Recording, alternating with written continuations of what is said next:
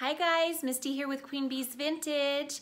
Welcome back to our channel. If you are a new viewer or a new subscriber, welcome. Thank you so much for tuning in today. In today's video, we are going to be doing episode number nine of my Everyday Decor series, and we will be looking at my kitchen island. I also have a little two-tiered tray on the island that I decorated for Valentine's Day, so I'll be showing that to you. So I hope you guys will stay tuned and enjoy the video.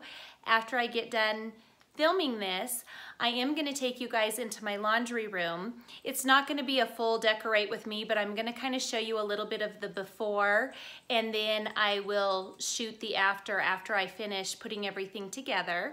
But we had the laundry room painted before Christmas. It was in early December and the month was just so busy that I didn't get a chance to get back in there and hang all of my decor on the walls and things like that.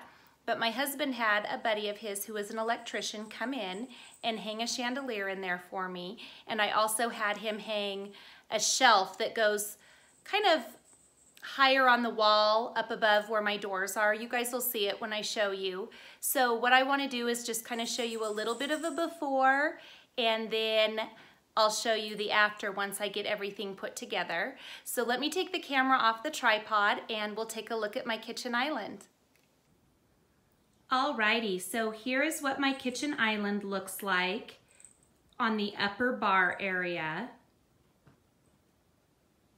I've just got a couple bar stools, which I do not love the bar stools at all. I'd like to get some upholstered bar stools for this area. So maybe this spring we'll do that. But I'm gonna show you up close what I've got going on here. So I have one of my favorite pieces. This is my Gracious Goods cake plate. And the little angel that is inside here is from the Southern Living at Home company I've talked about in previous videos. And there's just a little metal crown in there next to her. And I do, at Christmas, you probably saw her with some snow underneath her, some cotton snow and some ornaments. I leave her out all the time. I think she's beautiful and I just like to look at her. So she stays out all year. And then to cover some of my ceramic tile that I really dislike, and we've discussed that in a previous video, I've put this kind of French inspired runner. It's got some French script on it. And there's one of my little light up houses from the Target dollar spot. And then I have this really pretty white crackled pottery. My mom gave me these two pieces. So I've got the platter here. It's actually really heavy. And then in the bowl, I've just done some cotton pods and this lamb's ear topiary ball. That was purchased at Hobby Lobby after Christmas for 90% off. And I'll probably do some floral in it as we get a little closer to Easter. And then I just have another little house here. And on this corner, I've got this pretty yellow, kind of Tuscan uh, finial. And that is a piece that I got from that Real Deals that I've talked about before in previous videos. And I have this cute little ceramic rooster. I actually found him at a thrift store and he was like $2. He doesn't have any chips or nicks, cracks, nothing. He was in perfect condition and I really like him. And then I just have a little lantern here and sorry the candle's not on. That candle is one that is on a timer. So they come on about four o'clock and shut off at nine. And then I just have a garland of farmhouse prayer beads wrapped around that. That's one of the garlands that I made myself. And then I just have this lamp here and it kind of matches the runner as far as it's kind of got this French script on the shade. And this is one of those fun magnetic flowers. You can purchase these at Hobby Lobby over by the lamps. So it's it's got a big magnet on the, the back of the flower and then there's a metal plate that goes up underneath the shade. And that's how you attach it. So that is this side of the bar. And then I'll go around and show you the lower level where my sink is and my two-tiered tray. So also up on this upper area, I have this cute metal crown and I just have one of my Bath & Body Works three wick candles in that. And here is my sink. And yes, it is this white enamel, which I really dislike, and it has a scratch in it. And then I've just got this cute little rooster. It's a little holder that you can keep scrubbies in it and I keep a little nail brush in there.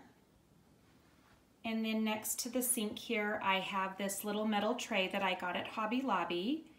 And I have my mason jar soap dispenser. So I've just got my Dawn dish soap in the bigger one and my Mrs. Meyer's hand soap in the scent lavender in the smaller one and my cute little flying pig. He was a Hobby Lobby find, and I think he was in the 75% off clearance.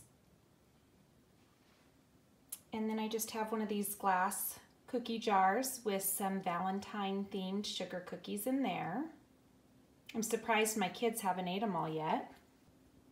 And then I have my two-tiered tray here. And sorry for the glare, you guys. I've got the slider and the three big windows in the living room casting some light in here. So in the bottom of the tray, I have my Rae Dunn Kisses canister.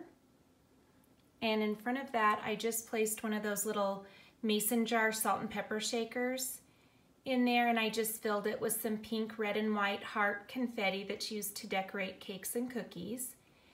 And then I just propped the lid to my canister here because I wanted to put a little touch of lamb's ear in the canister. And here is the new Rae Dunn sugar holder I showed in one of my haul videos. And I've just got a little watering can with some lavender in it. I think that was from like the 99 cent store last year. I'll move this a little bit. And then I have this cute cupcake mug and it has a a little saucer, and I'll show you what the saucer looks like here in a minute. And I just put some pink lollipops in that. And then it's got its own little ceramic spoon that has a cupcake on top. I can show you that when we get up onto the other level of the tray. And in the little cream container there in the back, I just put some pink and white peppermint marshmallows. And I just have another Rae Dunn mug back towards the back. And then on the top here, I put my pink prayer beads that I shared with you in a Hobby Lobby haul video. And my Kisses, Rae Dunn Kisses plate, I also showed that in a haul. And here's what the little saucer looks like that goes with that cupcake mug. I actually had two of them and I'll show you where I had it placed and I walked out this morning and it was broken all over the floor so that was upsetting. So that other mug was right here where my Rae Dunn Love mug is and the little spoon didn't break so this is what the little spoon looks like that was in the, the mug down below.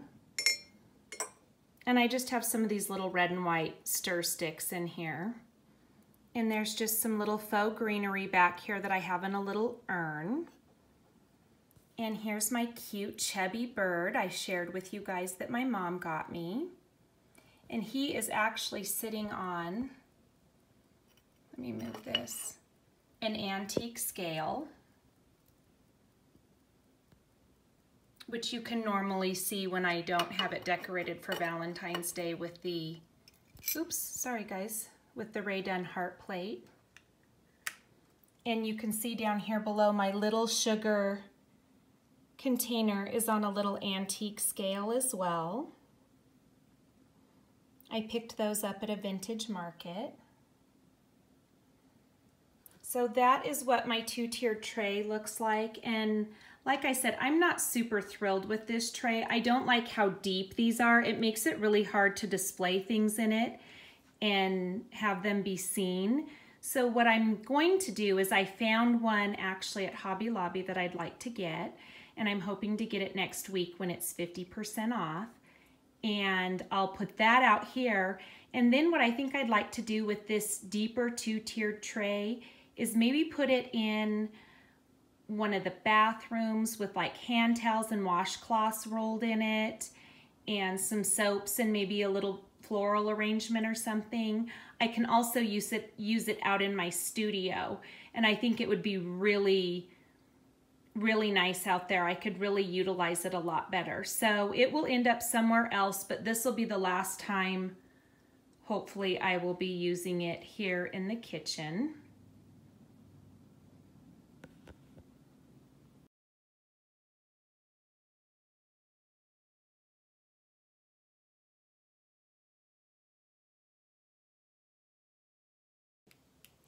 So guys, I hope you liked my kitchen island and my two-tiered tray. It's it's kind of simple and for some it may be too much, but I enjoy it and I hope you did too. And I didn't realize it's already time for me to take off and get kids. I don't know where the morning went. So what I'm going to do instead of putting the preview to the laundry room on this video. I'm just gonna shoot it separately, but I am gonna film it today, so hopefully I'll have that up tomorrow. And really, as far as the Everyday Decor series goes, I still want to do my coffee table and my bookcases in my living room, and I may just loop those all into one video, and hopefully I'll be shooting those later this week. So thank you guys so, so much for tuning in. Thank you for all of your wonderful comments. I appreciate you all so much, and I look forward to coming back to you with the laundry room video. Thanks, guys, and I hope you have a great afternoon. Bye-bye.